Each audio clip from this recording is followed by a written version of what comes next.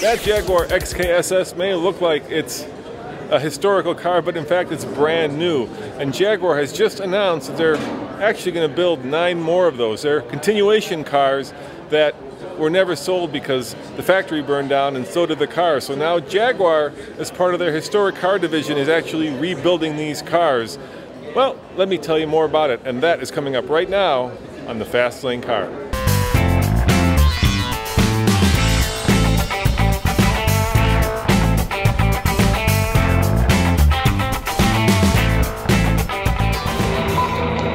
Sixty years ago, the iconic Jaguar D-Type was unbeatable. The streamlined D-Type set new standards in aerodynamics, reaching a top speed of 172.8 miles per hour at Le Mans. It went on to dominate the French Classic, winning three times in succession. When the D-Type's racing career came to a close, 25 remained unsold. Jaguar had an idea. XKSS the ultimate sports car. Built predominantly for the American market, 16 was sold. And one of XKSS's most famous owners was Hollywood legend Steve McQueen. Then one fateful night, everything changed. On the 12th of February 1957, a devastating fire broke out at the Browns Lane factory, destroying nine cars and everything needed to make them. They were thought to be lost forever, until now. 60 years on, Jaguar Classic will build the nine lost cars.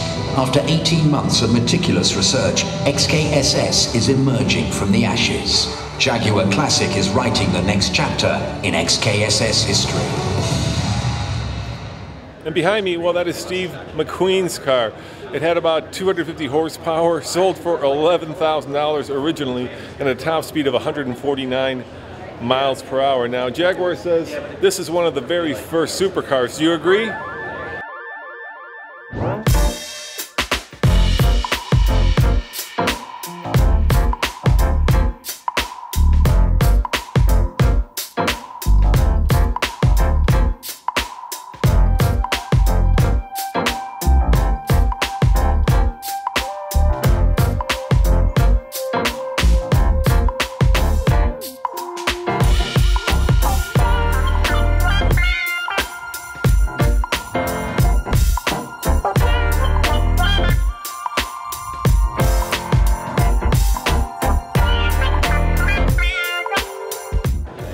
Could be true.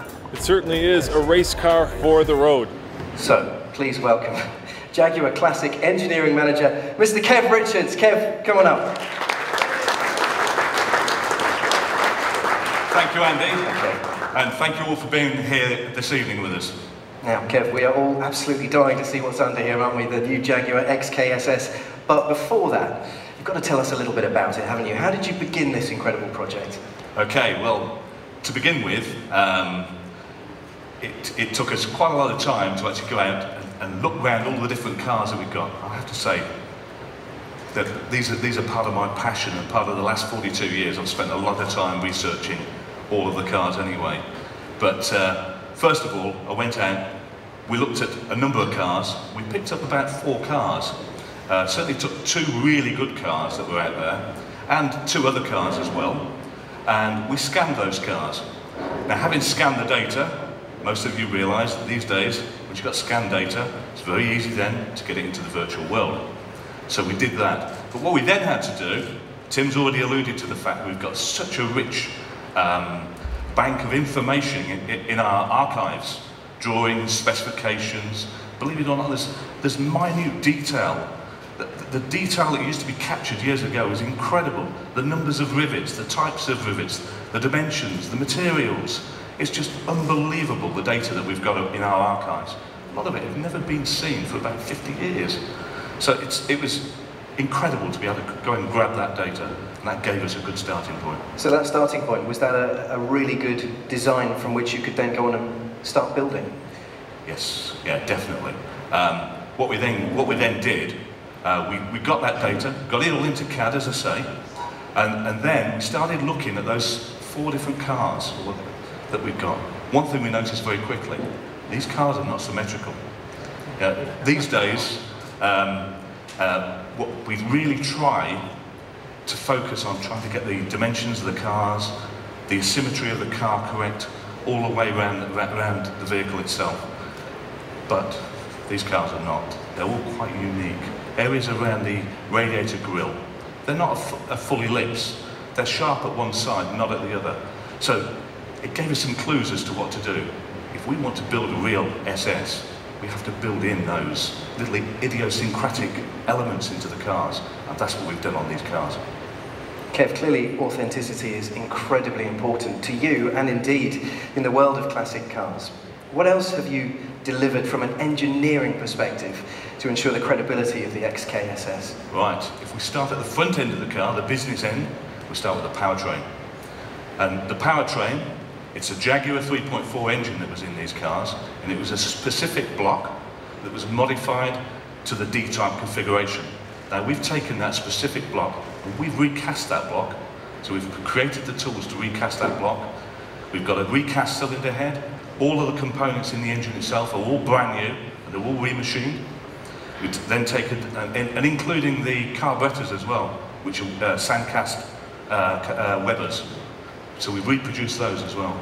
We've then taken the gearbox, we've recast the gearbox, the top, the, the top of the gearbox, and all of the gears inside are remachined to the original blueprints from the D-Type.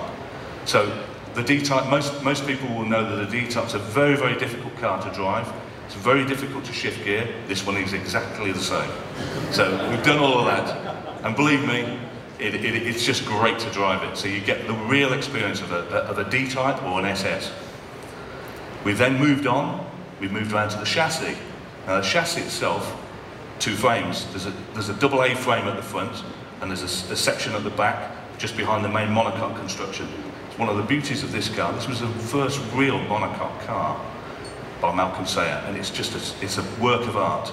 And you can see the you can see the aircraft technology in the car from, from when he was at Bristol Aero.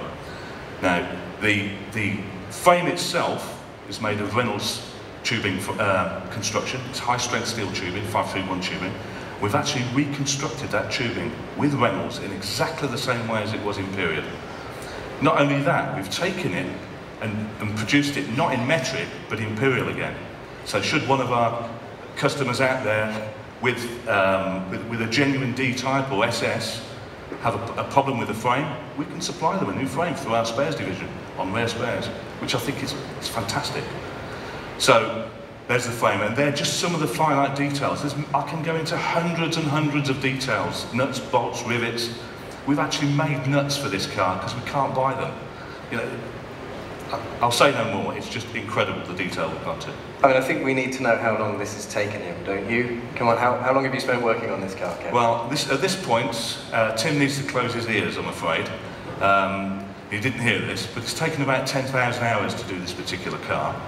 And for me, it's, it's been absolutely worth it, because what we've got here is an absolutely superb car, which, looking around um, Steve, Steve McQueen's car today, um, it's, it's absolutely spot on. It really is.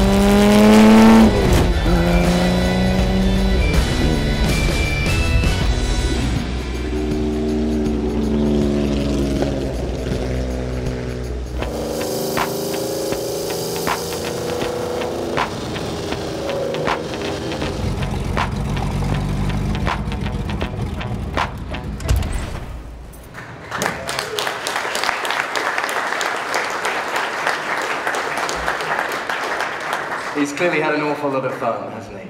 So, ladies and gentlemen, please put your hands together for the all-new Jaguar XKSS.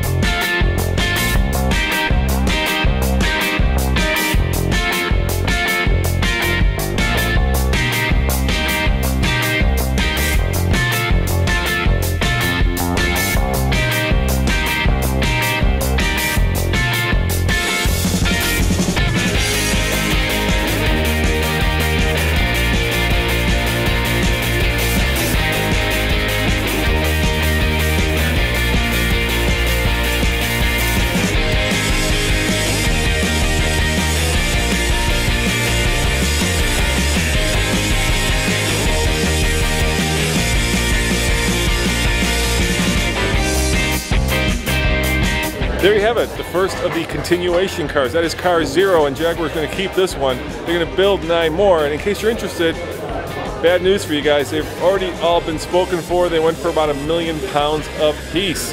You like it better than Steve McQueen's old car? It certainly is in better shape, even though it's probably worth a heck of a lot less.